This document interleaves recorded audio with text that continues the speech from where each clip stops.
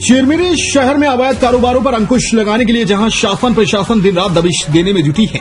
वहीं चिरमिरी के गेल्हा पानी के जंगलों से कोयले का अवैध उत्खनन एवं कारोबार चरम सीमा पर है। गेल्हा पानी के फेरवा नाला के आसपास बड़ी मात्रा में कोयला बोरे में भरकर इकट्ठा किया जा रहा है। करीब 2000 से ढाई हज़ार बोरियाँ जंगल की झाड़ियों में छिपा कर रखी गई हैं। दूसरी ओर वन विभाग की टीम मौके पर पहुंचकर अवैध उत्खनन किए गए कोयले का जायजा ली। करीब हज़ार बोरियों में कोयला भरा हुआ मिला, जिस पर वन विभाग एवं पुलिस प्रशासन द्वारा सम्मिलित रूप से कार्यवाही करते हुए समस्त कोयले से भरी बोरियों को जब्त किया एवं अपने उच्च अधिकारियों को संपूर्ण मामले की जानकारी दी गई जिसके बाद पुलिस प्रशासन द्वारा समस्त कोयले से भरी बोरियों को जब्त किया गया।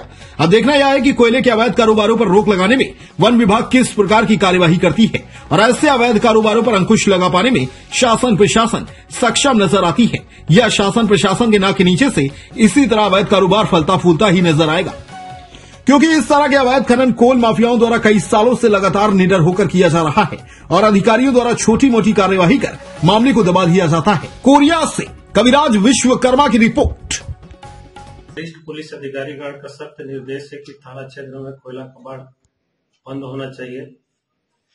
जो मुखबिर के सूचना मिलने पर लक्ष्मण झरिया जंगल के नाला से मेरे द्वारा 1800 बोरी कोयला जब्त किया गया है, धारा 102 के तहत।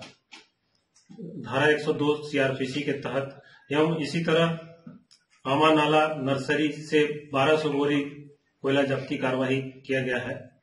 एवं जहाँ जहाँ भी सूचना मिल रहा है, उसमें दबिश दिया जा रहा है, कार्रवाई जारी है।